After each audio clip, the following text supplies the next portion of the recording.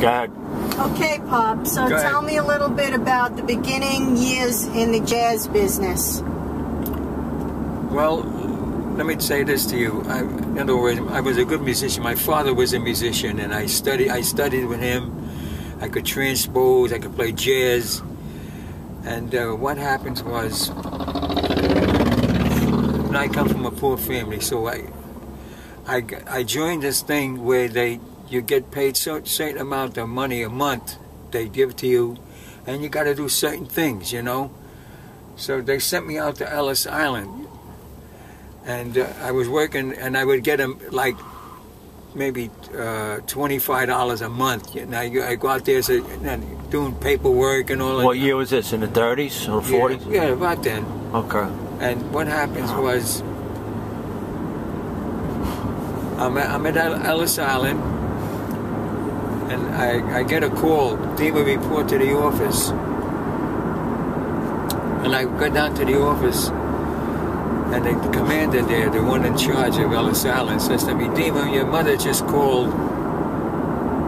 Says that, a, that an orchestra leader, Reggie Childs, is auditioning saxophone players and he and he called your house, and so your mother said you should call Reggie Childs, you know. So I called Reggie Childs up, and Reggie says, Jack, I heard a lot about you. You're a good player. He says, well, but I have to hear you. I said, okay.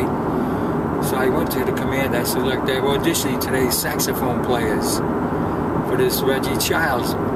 She says, go, Demon, take the rest of the day off. Lots of luck. So I go down to Nola Studios. That was a big place where the musicians go. And I sit down with the sax section, you know, Reggie Childs, and we're blowing, but I, then he made me play some jazz solos and sort of.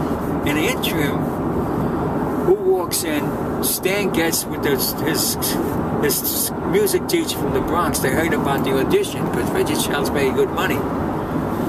So, but Reggie Childs fell in love with me, so it, so it's, he didn't even make Stan Getz take out his horns. He says, no, he says, I'm happy with the man I got. Denise on my mother's grave, this is true. I got the job over Stan Getz That's great, Pop. on my mother's Stop life. I believe you, and I, these are true stories. I'm not making these out of my I know. I know. so I went on the great. road with Reggie Childs, and then I went out with, with, with Joe Venuti. Oh, he was a great, great violin jazz. Kay Starr was on the band. Listen, when Kay Starr was at the Copa, you know, she had a dinner sent out for both of us, you know. That's nice. So I had a dinner with Lena Horne. I I always liked Lena Horne. She sent me, a, gave me a nice card to Jack. Love Lena. That's great, Pop. These are true stories, Denise. Okay, great.